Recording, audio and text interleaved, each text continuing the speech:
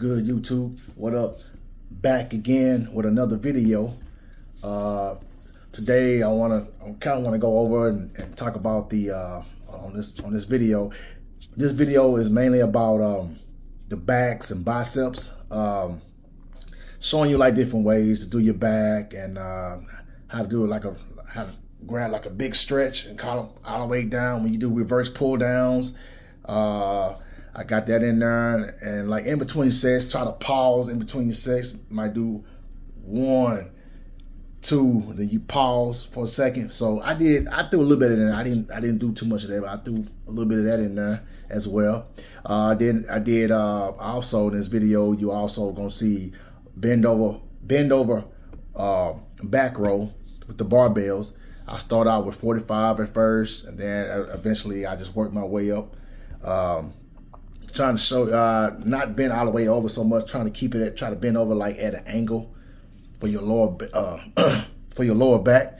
So um uh I also got that in there as well. I put that in there. Uh I have also I think I did uh I did backs uh with the pull down a lat pull down with reverse pull down.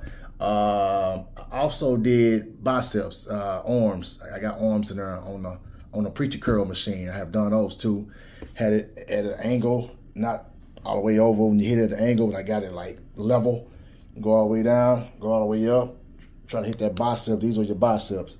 I, I, I throw I got those in there. I put those in there as well. Uh, also, I got abs. Show you how to do abs uh, with the ab cruncher on the ab machine. Um, um, also kind of show you when I went halfway, didn't go all the way down. I, I, didn't crunch all the way all the way down on the on the second on the second round on the on the second set. So I kind of went halfway and I stopped like in the middle and I tried to squeeze and kind of like breathe in, breathe out as you go down. When you uh, when you're hitting your abs, so you, so you, so you also want to make sure you're doing that when you're contracting your your abs workout. Try to breathe in and breathe out as you do it. Um, but I think that basically about about covered the whole video.